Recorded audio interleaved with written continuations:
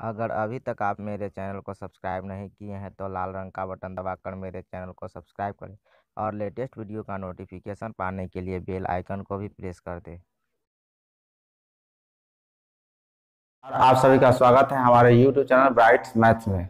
इस वीडियो में हम दो परमे संख्याओं के बीच की परमे संख्या पर आधारित प्रश्न सीखेंगे।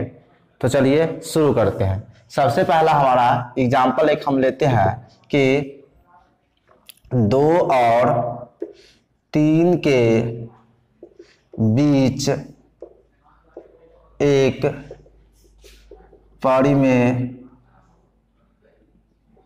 संख्या ज्ञात करें। यानी कि दो और तीन के बीच की एक परिमेय संख्या ज्ञात करना है। ठीक है? तो लिख सकते हैं यहाँ पे दो और तीन के बीच की परिमेय संख्या। क्या करेंगे हम? औसत के नियम से, जो कि हम पिछले वीडियो में पढ़ चुके हैं, इसको और इसको जोड़ देते हैं और दो से भाग दे देते हैं। तो दो जोड़ तीन और बटा दो, क्योंकि ये दो अंक एक और दो है तो इसलिए हम दो से भाग दिए तो दो तीन कितना हो गया? पाँच बटा दो। यही क्या होगा? दो और तीन के बीच एक परिमेय संख्या हो गया। ठीक है? यदि हमारा अगला एग्ज़ाम्पल एक है कि दो और तीन के बीच पाँच परिमेय संख्या ज्ञात करें तो हम क्या करेंगे? तो सबसे पहले हम क्या करेंगे? दो और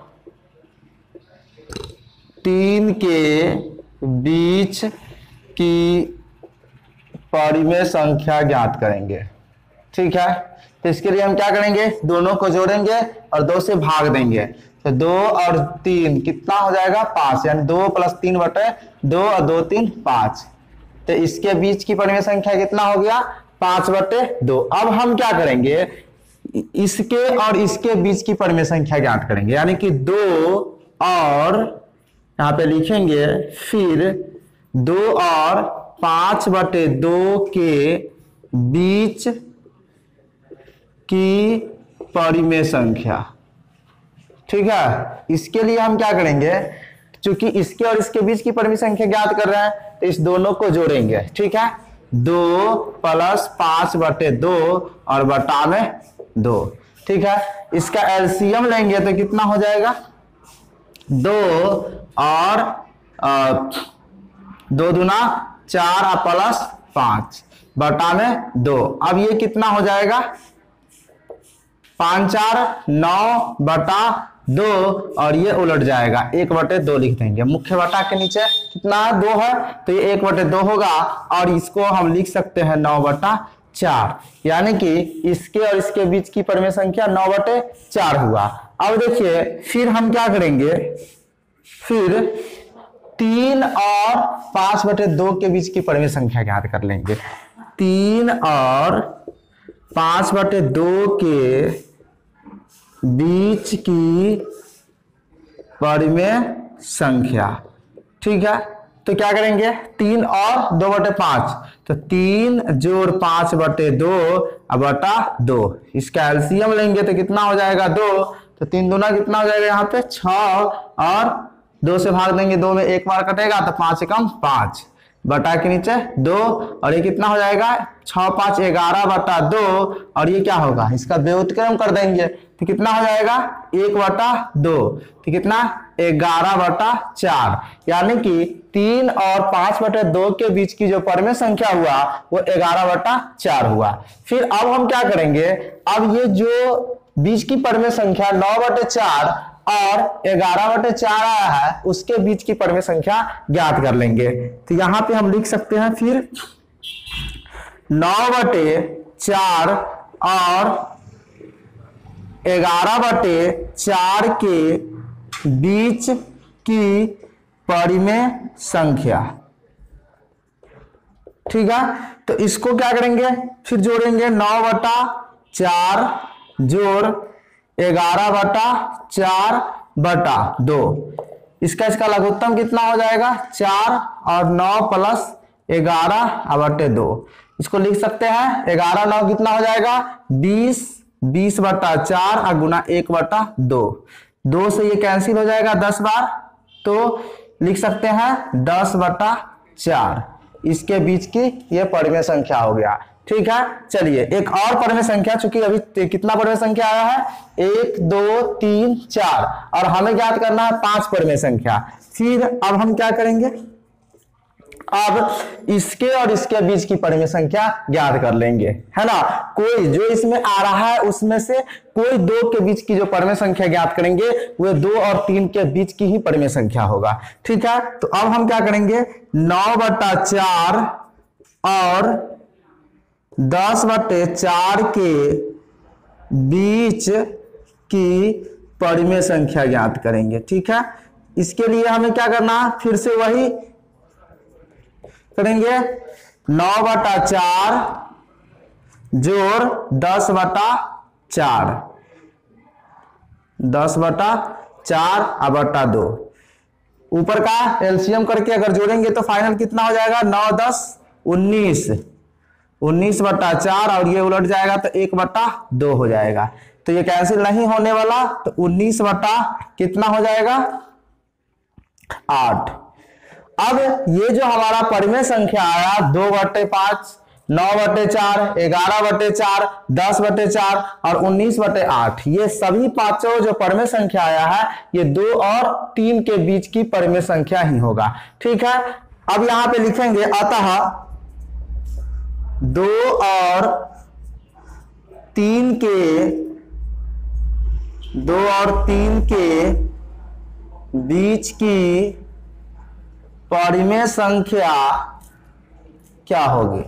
तो लिख देंगे पाँच बटे दो, कौमा नौ बटे चार, कौमा ग्यारह बटा चार, कौमा दस बटे चार और कौमा उन्नीस बटे आठ। यही हमारा आंसर हो जाएगा। यानी कि इसके बीच की परिमेय संख्या ये हो गया पाँच।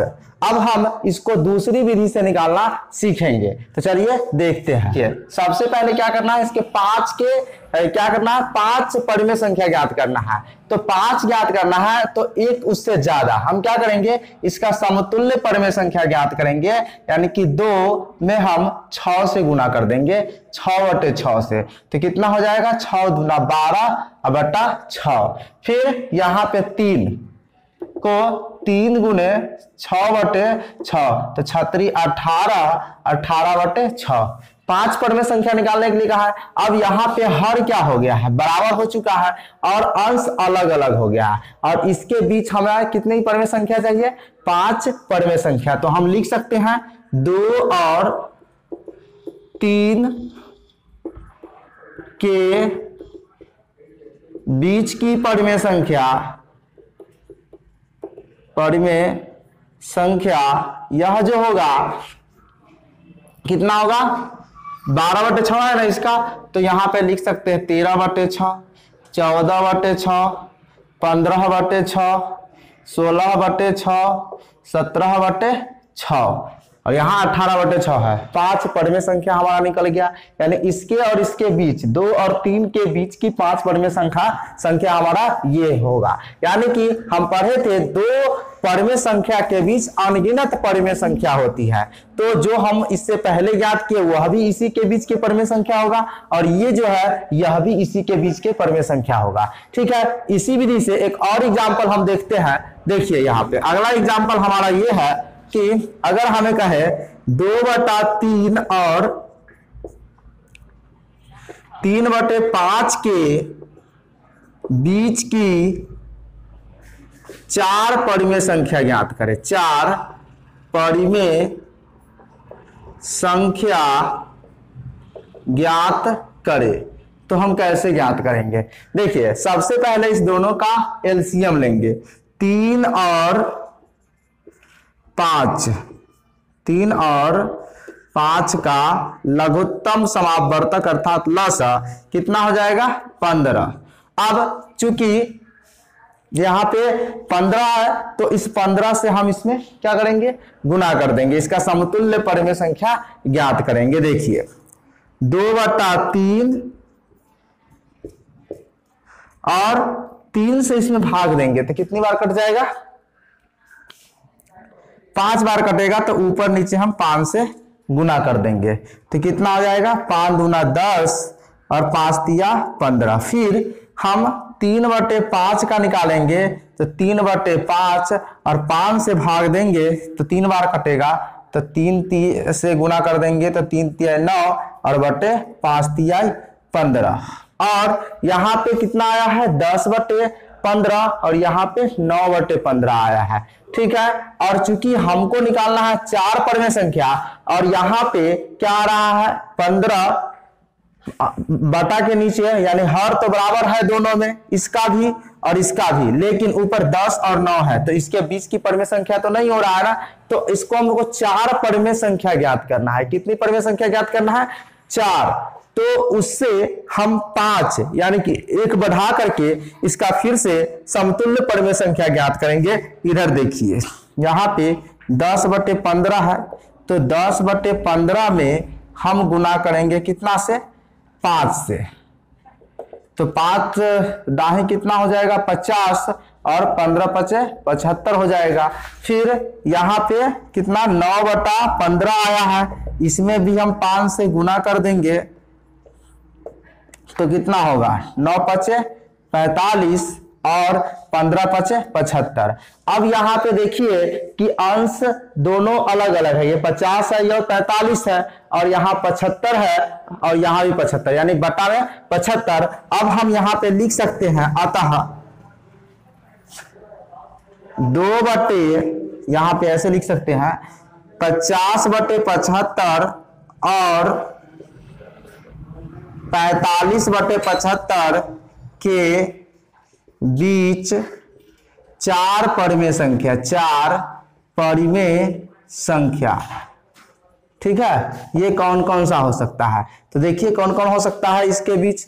तो 45 बटा पंद्रह है तो आपको 46 बटा सॉरी 45 बटे पचहत्तर तो यहाँ पे 46 बटे पचहत्तर होगा। फिर कितना हो जाएगा? सैतालीस बटे पचहत्तर, अड़तालीस बटे पचहत्तर, और उनचास बटा पचहत्तर, और कितना? चार ही परिमेय संख्या कहा है? तो यहाँ पे 45 और 50 के बीच। चार परिमेय संख्या हमारा आ रहा है। कौन कौन संख्या? छियालीस बटे पचहत्तर, सैतालीस बटे पचहत्तर अड़तालीस बटे पचहत्तर और उनचास बटे पचहत्तर। ठीक है? चलिए।